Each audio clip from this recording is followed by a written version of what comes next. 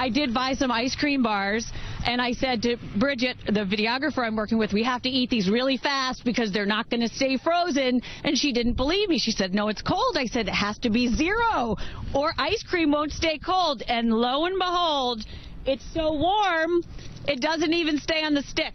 See that? There's only one left. That's a terrible example. Now, in case you missed it, there's a person dressed as a horse making its way through the snowy streets of Baltimore. it's a pretty normal occurrence there. Just a guy in a horse outfit walking down a snowy street. Lewis, I, love grew it. up in Baltimore. That could be one of my family members. That could be one of your family members. could be. did exponent make that clip exponentially My dad better, is though. known for wearing his winter horse outfit around. We'll keep